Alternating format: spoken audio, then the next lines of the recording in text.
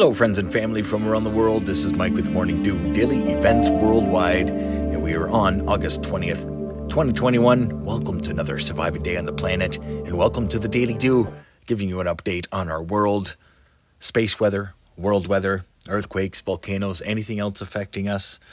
Looking at the last 48 hours on the sun, 304 angstroms, still lots of plasma erecting from the surface, but also a couple very active bright regions incoming. Looking at the last 48 hours incoming, Earth to scale, little depiction there.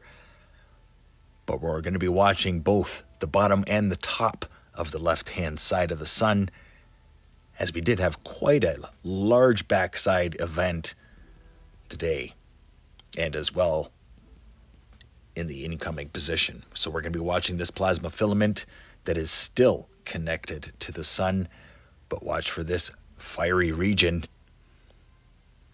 to sneak around the corner. And as well, that large plasma tornado, which is antipode to all of the action that is happening on the northwest side of the sun. But here is the event that I'm talking about. Watch the bottom left of the sun, multi-spectrum. Watch for that large whap. We were definitely affected by upwards of possible C class solar flares, and it was a long a duration as well. Just wait until you see it on the LASCO 2.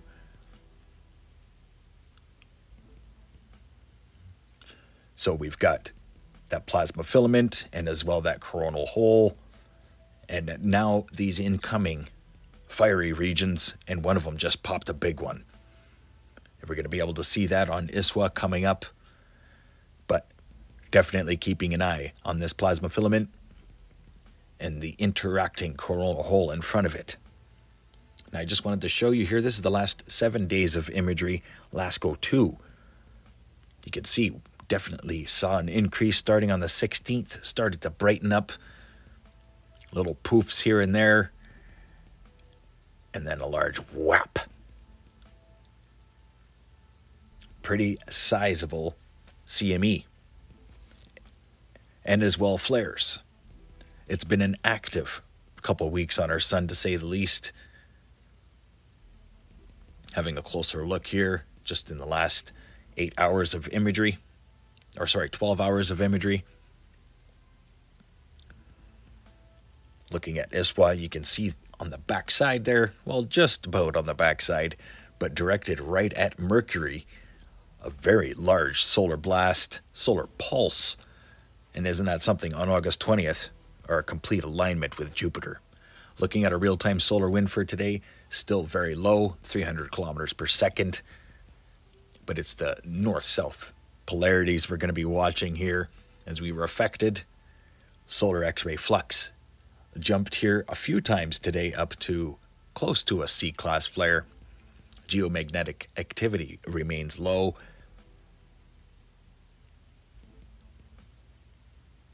Looking here at the high risk frequency affected, the DRAP absorption, and you can see at about 1645 UCT or UTC, we were affected by a long duration pulse.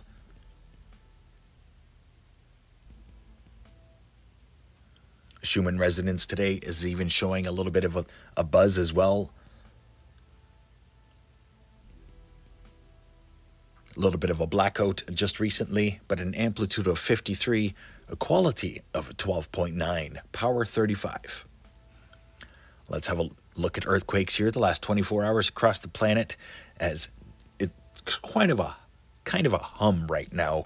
We're still seeing over now 350 earthquakes according to USGS across the planet, largest being a 5.3 through the South Sandwich Islands, deepest being a pretty deep one in Fiji.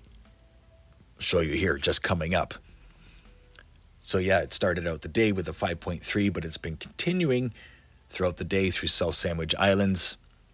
About a dozen earthquakes through the region. Minor activity through South American plate. 4.2 there, Chile, 24 kilometer depth. 4.3 there, Peru, 165 kilometer depth And then some pretty intense action through Haiti and as well Dominican Republic today. 4.0 aftershock through Haiti. Dominican Republic seeing some pretty deep earthquakes there, 196 kilometer depth. So subduction zone here going off, subduction zone down here going off. What's next? Alaska is popping though, that's for sure. But let's head to the North American plate. Quinton, Oklahoma reporting a 2.9. Couple minor earthquakes to report here. Mexico City, or sorry, Mexico White City, New Mexico. And then 2.5 there. BC, California max border. Markleeville, California, 2.7. Petrolia, 3.2. And a 2.9 there reported. So minor activity along the coast and as well through Utah today, 2.7, 2.8. And a notable here, 3.1 through Yellowstone, Montana, west of Yellowstone. That's right, let's just have a quick look here over at USGS and get a quick pinpoint exactly where it was. So they did report 3.1 here northeast of West Yellowstone, Montana, and as well a few minor earthquakes just south of there. Most of the activity is north of the lake, though. Interesting explosion here reported. Granite Falls, Washington. Minor activity here reported west of Rainier and as well south and east of St. Helens.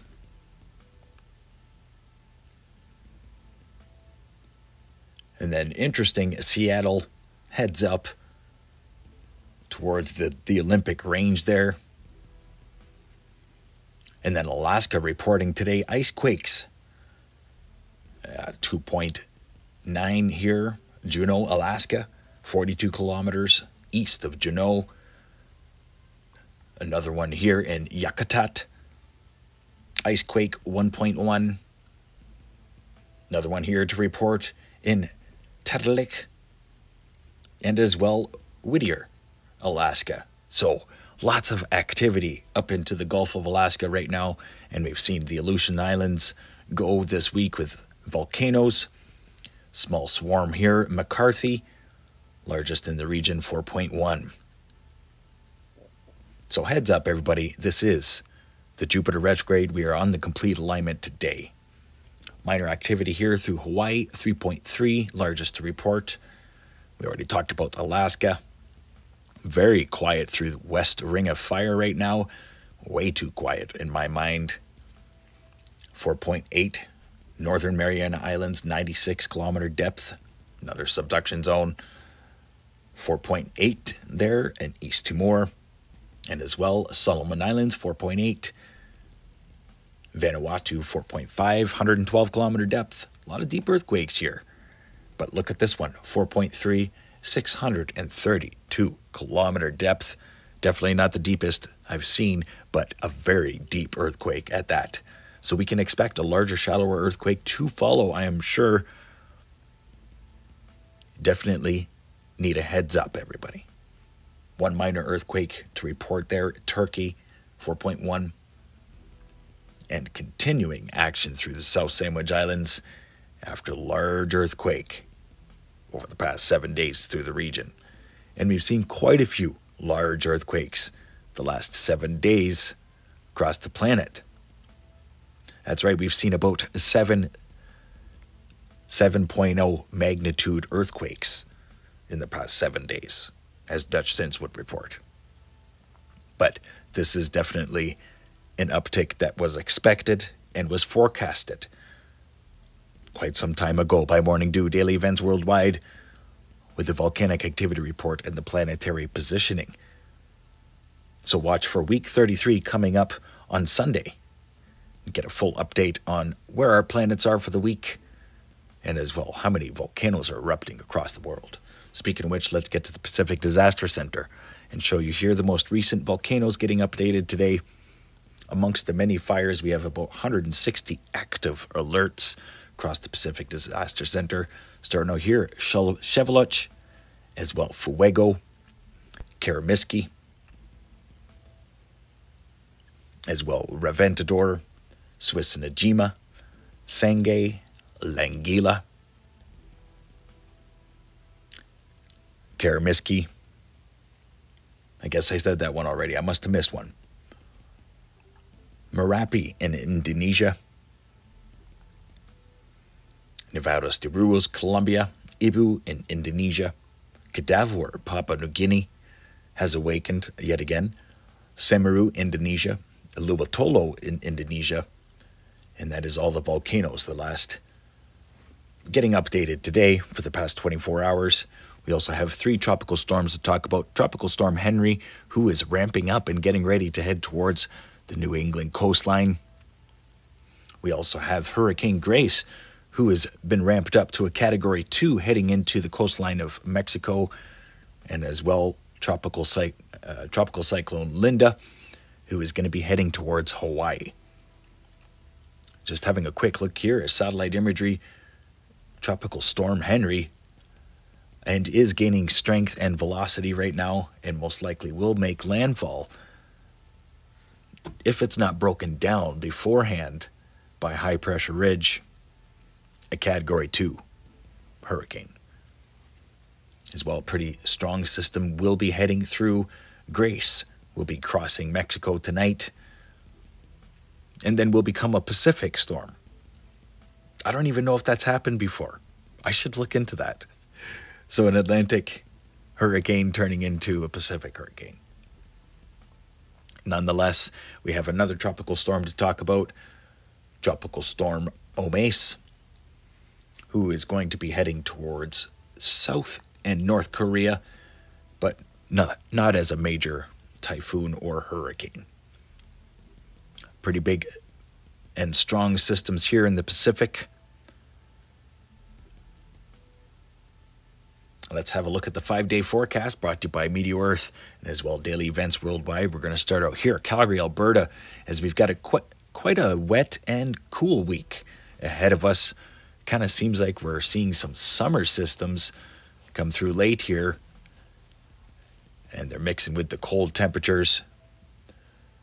We could have some snow in the foothills through Rocky Mountain Pass, but watch for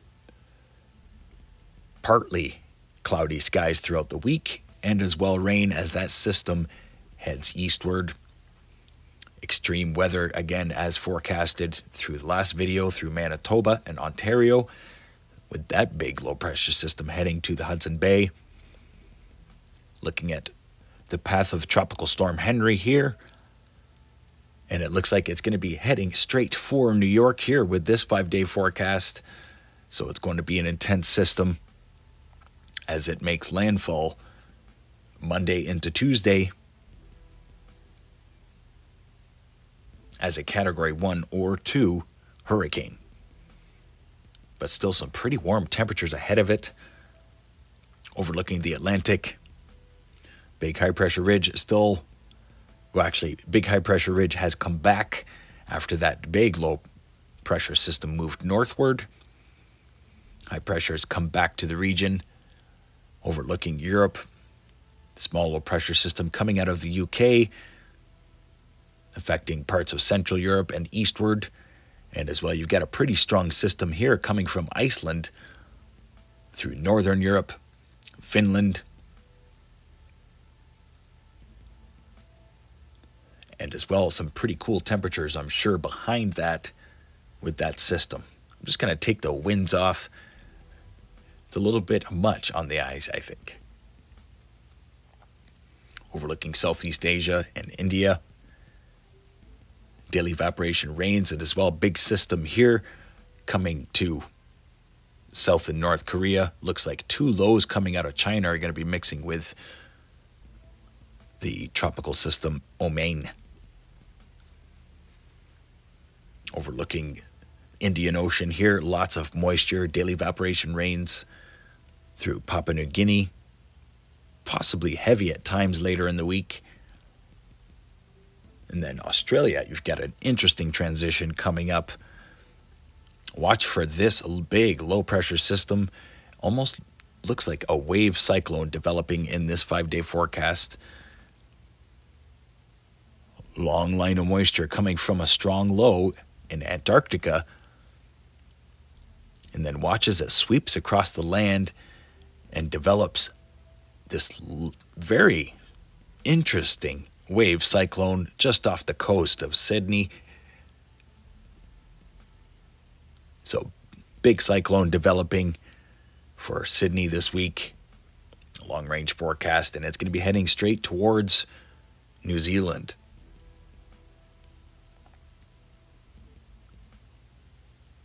Overlooking Hawaii, looking at Tropical Storm Linda, will be affecting you guys Monday into Tuesday.